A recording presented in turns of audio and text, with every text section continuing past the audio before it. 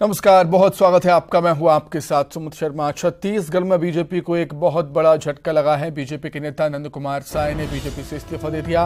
प्रदेश अध्यक्ष अरुण साव को पत्र लिखा है। लोकसभा और राज्यसभा सांसद समेत कई अहम पदों पर रहे हैं नंद कुमार साय। नंद कुमार साय के कांग्रेस में जाने के अटकलें भी तेज हैं और ऐसी खबरें भी हैं कि वो कल कांग्रेस में शामिल हो सकते हैं। कल 11 कल 11 बजे नंद कुमार साय कांग्रेस में शामिल हो सकते हैं। ऐसी खबरें भी निकलकर सामने आ रही हैं। कल राजीव भवन में बड़े नेताओं की उपस्थिति में कांग्रेस में शामिल हो सकते हैं नंद कुमार साय। नंद कुमार साय के कांग्रेस में शामिल होने से मजबूती निश्चित तौर पर कांग्रेस को मिलेगी जशपुर और सरगुजा क्षेत्र में। आदिवासी सीटों को लेकर बड़ा संदेश भी जाएगा। अगर कांग्रेस में शामिल हो सकते हैं नंद कुमार साय तो। नंद कुमार साय को मनाने के लिए बीजेपी नेताओं की कोशिशें लगातार जारी। वहीं दूसरी ओर, बीजेपी नेता लगातार नंद कुमार साय से संपर्क करने की कोशिश कर रहे हैं, लेकिन खबरें ये हैं कि उनसे संपर्क हो नहीं पा रहा। पूर्व अध्यक्ष विष्णुदेव साय के करीबी नंद कुमार साय के बंगले पर पहुँचे। बीजेपी जूदेव राज परिवार के सदस्यों के ज़रिए मनाने की कोशिश में जुटी हुई है नंद कुमार साय को।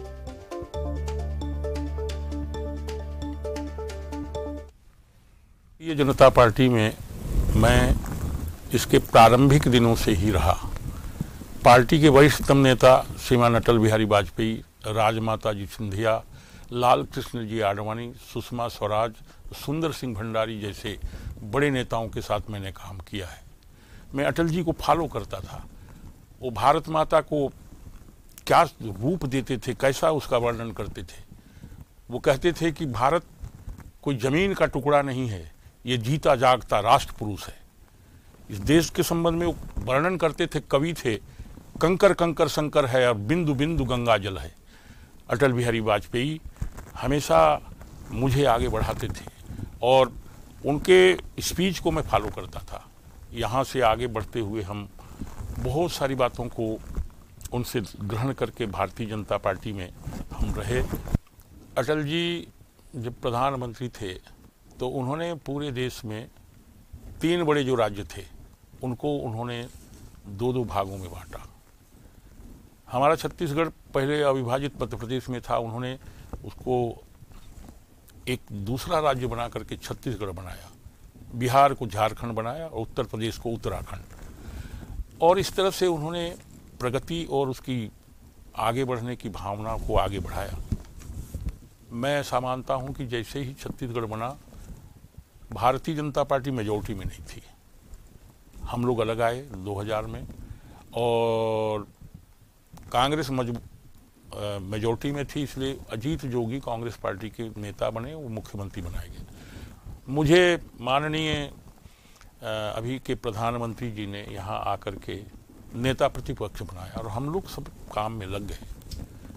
परिणाम ये हुआ कि अजीत जोगी से पूरी लड़ाई शुरू हो गई और सरकार बनाने के लिए मैंने सड़क पर लगातार संघर्ष किया, हाथ पाँव तोड़वाए।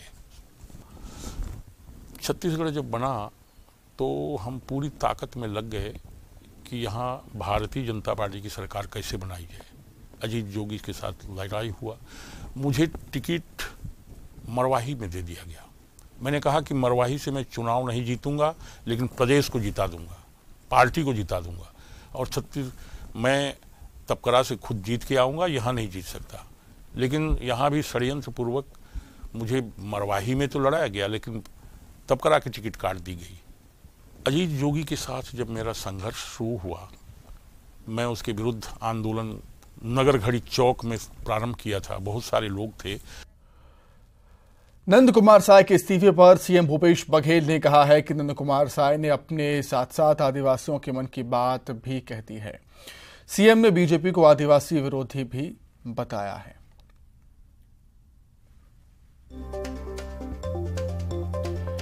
तो सीएम भूपेश बघेल ने ट्वीट किया था। नंद कुमार साय के बीजेपी से इस्तीफा देने पर और बीजेपी को घेरा है, उन्होंने कहा है। सीएम भूपेश बघेल ने कहा है कि नंद कुमार साय ने अपने साथ साथ आदिवासियों के मन की बात भी कह दी। सीएम ने बीजेपी को आदिवासी विरोधी बताया।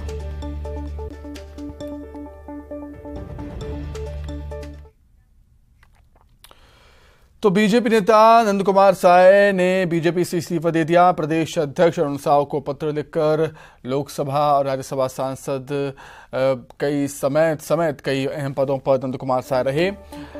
और नंद कुमार साय के कांग्रेस में जाने की अटकलें भी लगाई जा रही हैं। और कल कांग्रेस में शामिल हो सकते हैं नंद कुमार साय, ऐसी भी खबरें हैं। साहब जी इस्तीफा आपको मिला है वहाँ पर। क्या आप लोग कहेंगे क्या वजह है? देखिए बहुत हमारे वरिष्ठ नेता हैं उनका इस्तीफा प्राप्त हुआ है। हम उनसे संपर्क करने की कोशिश कर रहे हैं निश्चित रूप से उनसे बातचीत करेंगे और किसी तरह की कोई गलत फहमी होगी तो उसे दूर करने का प्रयास करेंगे। सोशल मीडिया में भी उन्होंने कुछ वीडियो अपलोड किए। हाँ निश्चित रूप से उनका इस्तीफा भी मुझे प्राप्त हुआ है और हम संपर्क करने की कोशिश कर रहे हैं। हम बातचीत करेंगे कोई गलत फहमी है तो उसे दूर करने का प्रयास करेंगे। ये चर्चा है कि वो कांग्रेस में जा सकते हैं? मैंने कहा कि अभी उसका इस्तीफा मंजूर भी नहीं हुआ है। हमारे वरिष्ठ नेता हैं विभिन्न जिम्मेदारियों का निर्वहन उन्होंने किया है पार्टी को आगे बढ़ाने में योगदान किया है हम उनसे बातचीत करेंगे। कोई गलत फहमी है तो दूर करने का प्रयास करेंगे। वजह आपको बताई नहीं उन्होंने कुछ? मैंने कहा कि उनका इस्तीफा मिला है कोई गलत फहमी है तो उसे दूर करने का प्रयास करेंगे। मुझे पूरी उम्मीद है कि वे आगे भी पार्टी का काम करेंगे। हमारे साथ प्रदेश अध्यक्ष अरुण साहु जी थे उनका कहना था कि उनको पूरी उम्मीद है कि जल्द ही उनको मना लिया जाएगा इस्तीफा मिला ज़रूर है लेकिन एक्सेप्ट नहीं हुआ है उनका इस्तीफा। और तमाम अटकलों को खारिज कर रहे हैं वो कह रहे हैं कि उनसे संपर्क नहीं हो पा रहा है। संपर्क जैसे होगा उनको मना लिया जाएगा। कैमरामैन सुशील के साथ अभिषेक शुक्ल न्यूज़ एटीन। मेरी काफ़ी दिनों से मुलाकात समानता नहीं हुई। पार्टी के बैठकों में मिलते रहे, मगर कभी इस प्रकार का जो आज जो बयान आया है, वैसा कोई चर्चा या बातचीत कभी नहीं आया। देखिए, वरिष्ठ तो है, मगर अभी हम ये नहीं कह सकते कि इस्तीफा अभी अभी इस्तीफा आया है। इस्तीफा अध्यक्ष जी के पास है, उनसे बातचीत करेंगे, अध्यक्ष जी और वरिष्ठ लोग और बात करेंगे, संगठन के राष्ट्रीय नेता भी बात करेंगे तो कोई रास्ता निकल सकता है। अभी आप लोगों ने संपर्क करने का कुछ बातचीत किया मगर कांटेक्ट देखिए मुझे तो आपके माध्यम से मीडिया से जानकारी मिली है कि हमारे वरिष्ठ नेता जिनके साथ हम लोगों ने काम किया है और मुझे तो कई वर्षों से उनके साथ काम करने का अनुभव है। उन्होंने एक पत्र भेजा है और उसमें इस्तीफे का ज़िक्र है और बाकी जानकारी मुझे नहीं है। मुझे लगता है पार्टी में इस पर मंथन होगा। और जो बेहतर विषय होगा समाधान की दृष्टि से, वो आगे का समाधान कारक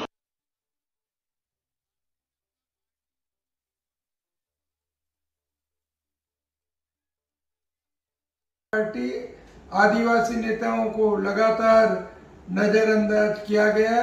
2003 हो 2008 के चुनाव हो आदिवासी सीटों में भारतीय जनता पार्टी जीती और छत्तीसगढ़ में सरकार बनी, मगर भारतीय जनता पार्टी लगातार छत्तीसगढ़ के आदिवासी नेताओं की उपेक्षा की, जिसमें वरिष्ठ नेता नंद कुमार साय जी भी हैं। कांग्रेस पार्टी में नंद कुमार साय जी के लिए दरवाजे खुले हैं। अगर कांग्रेस पार्टी में आना चाहते हैं तो स्वागत है। कांग्रेस पार्टी हमेशा आदिवासियों का सम्मान करते रहे।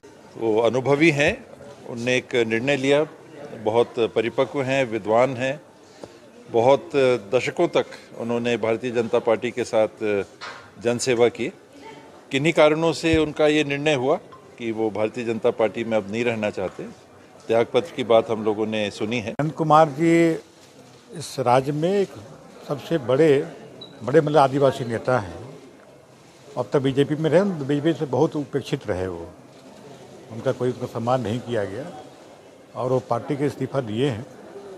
और पार्टी में आ, उनका जम नहीं रहा था। लोग उनको नेगलेक्ट कर रहे थे। ये बहुत काफ़ी दिन से असंतुष्ट भी थे।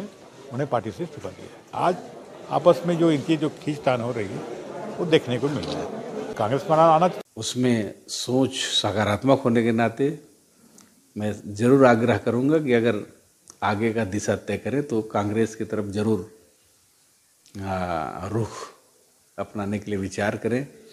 कांग्रेस पार्टी में उनके लिए आ, हमेशा मेरे को सकारात्मक भविष्य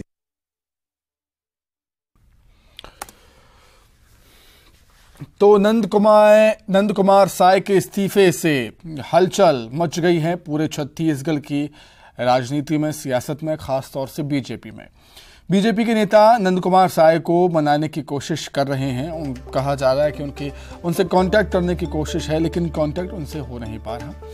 और ये भी खबरें हैं कि कल नंद कुमार साय कांग्रेस में शामिल हो सकते हैं।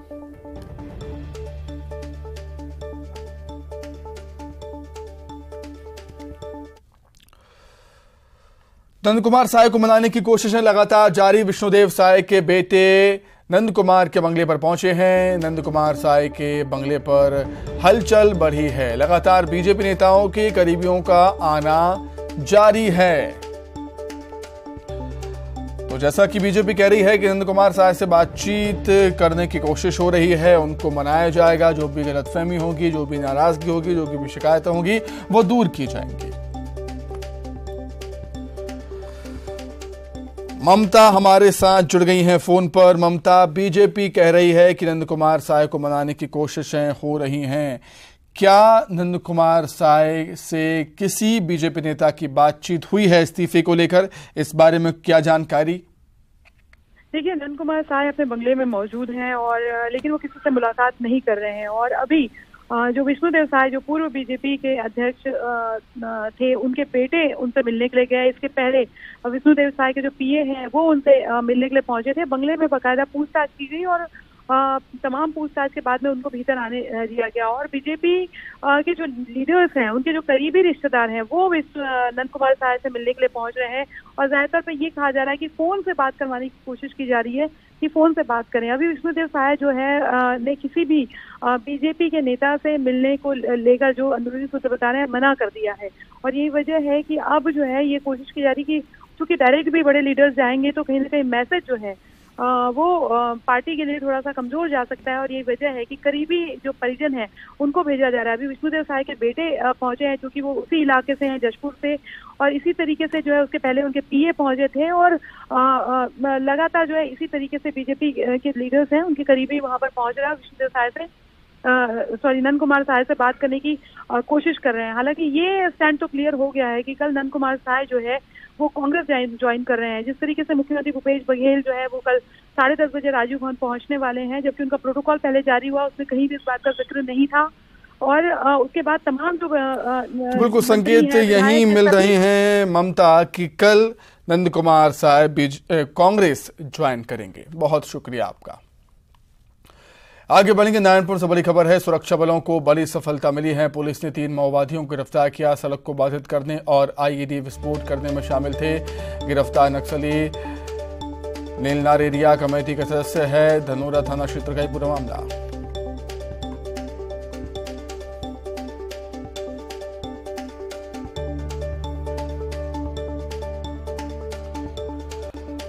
तो बड़ी सफलता यहाँ पर सुरक्षा बलों को मिली। नारायणपुर से बड़ी खबर आपको बता रहे हैं। पुलिस ने तीन माओवादियों को गिरफ़्तार किया है। जिला बल डीआरजी एवं आईटीबीपी की संयुक्त टीम नक्सल विरोधी अभियान हेतु रवाना हुई थी और उक्त टीम के द्वारा ग्राम टेकानार में घेराबंदी कर तीन संदिग्ध व्यक्तियों को पकड़ा गया, जिनसे पूछताछ करने पर, जिन्होंने अपना नाम रानू उसेंडी लसंतीन, पोयाम और आसमती कोहरामी सभी निवासी टेकाराम टेकानार होना बताया गया। जिनसे पूछताछ करने पर तीनों ने जो है अपने आप को नेलनार एरिया कमेटी अंतर्गत टेकानार में मिलिशिया का सदस्य होना बताया गया। एक शादी का अनोखा वीडियो सोशल मीडिया पर काफ़ी वायरल हो रहा है, जिसमें तेज बारिश होने लगी तो दूल्हा दुल्हन ने छाता ओढ़कर ही सात फेरे ले लिए। आसपास मौजूद लोग हँसते रहे। लोगों ने कहा, जल्दी जल्दी कर लो। और लोग तालियाँ बजा रहे हैं। कुछ लोग जोड़े को हंस हंस कर चढ़ा भी रहे हैं। वहीं पंडित ने भी घर के भीतर से ही मंत्र पढ़े। इसके बाद शादी संपन्न हुई। अब इस शादी का वीडियो सोशल मीडिया पर जमकर वायरल हो रहा है। लोग इसे काफ़ी पसंद भी कर रहे हैं।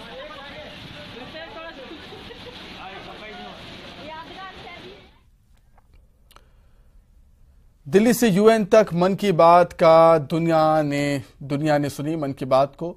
ऑस्ट्रेलिया में ओ एफ़ बीजेपी यानी ओवरसीज फ्रेंड्स ऑफ़ बीजेपी ने डेढ़ सौ स्थानों पर मन की बात का आयोजन किया। ओएफ बीजेपी, ऑस्ट्रेलिया, चैप्टर ने प्रधानमंत्री नरेंद्र मोदी का रेडियो प्रोग्राम मन की बात पूरे ऑस्ट्रेलिया के डेढ़ सौ स्थानों पर आयोजित किया। इसमें करीब एक हज़ार प्रवासी भारतीयों ने हिस्सा लिया। मन की बात के सौवीं एपिसोड के खास मौके पर यह आयोजन किया गया। देश के सभी छह राज्यों के 20 मुख्य शहरों और टेराटोरीज में आयोजित आयोजन में मन की बात के सौवें एपिसोड को लोगों ने देखा और सुना भी। इन डेढ़ सौ लोकेशंस में 40 लोकेशंस मेलबर्न और 32 लोकेशन सिडनी में।